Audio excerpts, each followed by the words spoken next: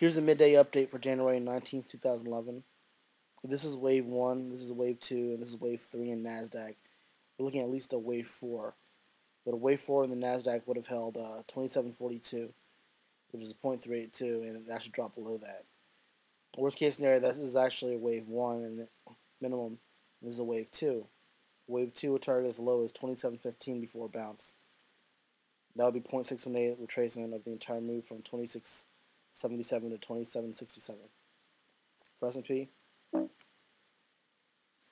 if this is 3 and this is 4, uh, worst case scenario is that um, we're actually seeing wave 1 wave 2. And um, S&P would drop to as low as 1275 and then get a rally. I'd actually prefer to get a wave 2 because that would set up another third wave move, another trade. But um, it surpassed fourth wave 0.382 support at 1286. So we need to hold uh, 1275 to the downside or worse. The Dow doesn't look that bad though.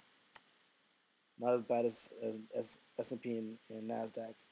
But since S&P and Nasdaq are basically following the are in sync together, I wouldn't look at the Dow as a as the um, as as the leadership or the downside leadership. I look at S&P and Nasdaq. So basically, S&P's got to hold 1275, which is 0.618.